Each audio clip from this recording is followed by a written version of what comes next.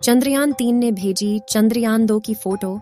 दोस्तों, चंद्रयान तीन ने चंद्रयान दो की फ़ोटो को कैप्चर करके भारत की स्पेस एजेंसी इसरो के पास भेज दिया है। इस वीडियो में हम आपको बताने वाले हैं कि चंद्रयान दो क्यों फेल हुआ था और वापस कैसे ज़िंदा होगा चंद्रयान दो।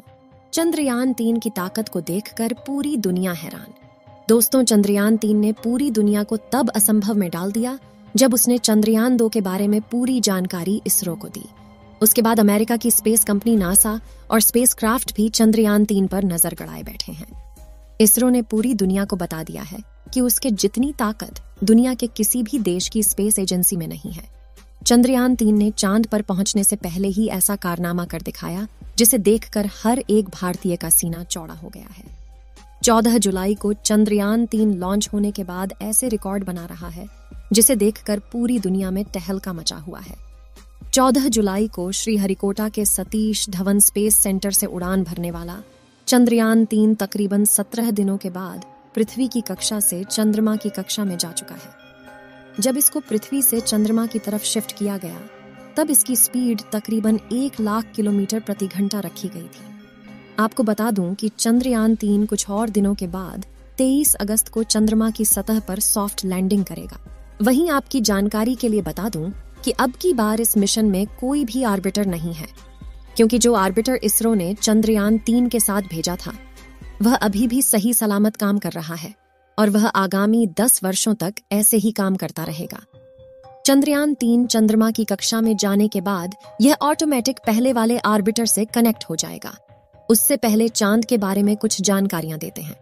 चंद्रमा पृथ्वी का एकमात्र प्राकृतिक उपग्रह है। यह पृथ्वी के आकार का लगभग एक चौथाई और द्रव्यमान का एक छठवां है। चंद्रमा पृथ्वी की परिक्रमा लगभग 28 दिन में करता है और अपने अक्ष पर एक बार घूमने में भी उतना ही समय लेता है। यही कारण है कि हम हमेशा चंद्रमा का एक ही चेहरा देखते हैं और दूसरा छिपा रहता है, जिसे डार्क साइड कहा जाता है। चंद्रमा का सतह चट्टान और धूल से बनी है। चाँद पर कोई वातावरण नहीं है और वहाँ पर पानी होने की संभावना है। चाँद के धारती की सतह पर कई विशाल गड्ढे हैं। जो उल्का पिंडों के टक्कर से बने हैं। चंद्रमा पर कुछ पहाड़ भी हैं, जिनमें से कुछ की ऊंचाई ग्यारह हज़ार मीटर तक है। चंद्रमा पर गुरुत्वाकर्षण पृथ्वी के गुरुत्वाकर्षण का एक छठा होता है। इसका मतलब है कि अगर आपका वज़न पृथ्वी पर 60 किलोग्राम है तो चंद्रमा पर आपका वज़न केवल 10 किलोग्राम होगा। चंद्रमा पर कोई मौसम नहीं है। इसका कारण यह है कि वहाँ पर कोई वातावरण नहीं है। बिना वातावरण के सूर्य और अंतरिक्ष से आने वाली गर्मी और ठंड को चंद्रमा की सतह पर संरक्षित नहीं किया जा सकता है। इसलिए चंद्रमा की सतह पर दिन में बहुत गर्मी और रात में बहुत ठंडी होती है। अब बात करते हैं कि चंद्रयान तीन आखिर चाँद पर क्या करेगा। चंद्रयान तीन चाँद के दक्षिणी ध्रुव पर सॉफ्ट लैंडिंग करने के पश्चात चंद्रयान का रोवर चाँद की सतह पर भयानक गड्ढों और चाँद पर पानी की मौजूदगी का राज्य खोलने वाला है। अभी भी हमारा चंद्रयान चंद्रमा से तकरीबन दो लाख किलोमीटर दूर है। लेकिन हमारे चंद्रयान में लगे हुए हाई रेजोल्यूशन वाले कैमरों ने चंदा मामा की पहली तस्वीर भारतीय स्पेस कंपनी इसरो को भेज दी है। इस बार चंद्रयान पर तकरीबन 19 से ज़्यादा कैमरे 240 सेंसर और चार पेलोड लगे हुए हैं, जो इसको सही रास्ते पर लेकर जाता है और किसी भी तरह के आने वाले खतरे का पूर्वानुमान लगाकर हमारे चंद्रयान थ्री को चाँद पर पहुँचाने में मदद करेंगे। चलिए कुछ और जानकारी देते हैं। 2019 में इसरो ने अपना चंद्रयान चाँद पर भेजा था, जिसकी किसी तकनीकी खराबी के कारण सॉफ्ट लैंडिंग नहीं हो पाई थी और न ही उसका रोवर बाहर आ सका। लेकिन उसके तकरीबन चार साल बाद भेजे गए चंद्रयान थ्री ने उसकी फ़ोटो को इसरो के सर्वर पर भेजा है।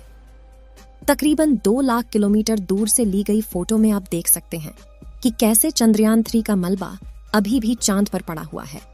जिसे कैमरे में देखा जा सकता है, कि चंद्रयान दो अपनी पिन पॉइंट लोकेशन से तकरीबन 50 मीटर आगे जाकर लैंड किया था, जिसकी वजह से ही उसकी क्रैश लैंडिंग हुई थी। क्रैश लैंडिंग होने के बाद चंद्रयान दो उल्टा हो गया था, जिसके कारण उसका गेट नहीं खुल सका। उसकी वजह से ही शायद हमारा रोवर बाहर नहीं आ सका। आपको जानकारी के लिए बता दें कि चंद्रमा पर आज भी चंद्रयान दो का मलबा तकरीबन 100 मीटर की दूरी में फैला हुआ है। जिसको हमारे चंद्रयान थ्री के हाई रिजोल्यूशन कैमरों ने बहुत ही सटीक तरीके से कैप्चर किया है। जैसे जैसे चंद्रयान चंद्रमा के करीब जाएगा वैसे वैसे यह और भी बढ़िया क्लियरिटी वाली इमेज और वीडियोस हमारे इसरो को भेजता रहेगा।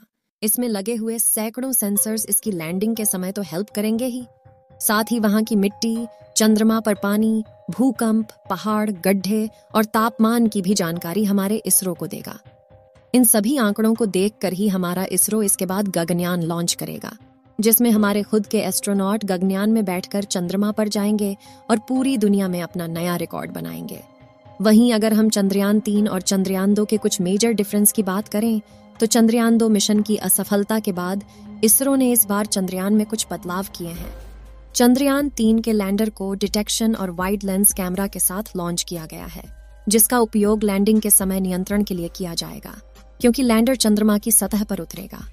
सफलतापूर्वक लैंडिंग करने के पश्चात, वहाँ की हाई रेजुलेशन तस्वीरें और वीडियो बनाने के लिए भी कैमरों का इस्तेमाल किया जाएगा। चंद्रयान तीन में ऐसे दो कैमरे लगाए गए हैं, जबकि चंद्रयान दो में केवल एक कैमरा था। चंद्रयान दो के आर्बिटर को उपकरणों की प्रभावशाली सूची के साथ लॉन्च किया गया था, जो अभी भी चंद्रमा की कक्षा में काम कर रहा है। पिछली बार चंद्रयान दो की लैंडिंग साइट का क्षेत्रफल 500 मीटर इंटू 500 मीटर चुना गया था। इसरो विक्रम लैंडर को मध्य में उतारना चाहता था, जिसकी वजह से कुछ सीमाएँ थीं। इस बार लैंडिंग का क्षेत्रफल चार किलोमीटर इंटू ढाई किलोमीटर रखा गया है। यानी इतने बड़े इलाके में चंद्रयान तीन का विक्रम लैंडर उतर सकता है। आपको बता दें कि अब की बार इसमें ऑटोमेटिक सेंसर भी लगाए गए हैं, जिससे अब की बार इसकी सॉफ्ट लैंडिंग होना तय है। इसरो के अनुमानित समय के अनुसार चंद्रयान तीन की लैंडिंग तकरीबन 23 अगस्त को होगी। इस बार भारत दोबारा चाँद की सतह पर लैंडिंग का प्रयास कर रहा है। वह भी ऐसी जगह जहाँ पर अब तक किसी भी देश ने लैंडिंग की कोशिश तक नहीं की है और न ही हिम्मत। वैसे दुनिया में ग्यारह देश हैं जिन्होंने अपने मून मिशन भेजे हैं। अगर भारत का यह मिशन सफल होता है तो दक्षिणी ध्रुव के पास लैंडर उतारने वाला पहला देश बन जाएगा। और भारत दुनिया की पहली स्पेस एजेंसी बन जाएगी। आपको बता दें कि आज के समय में इसरो दुनिया की सबसे तेज़ी से आगे बढ़ती हुई स्पेस कंपनी है।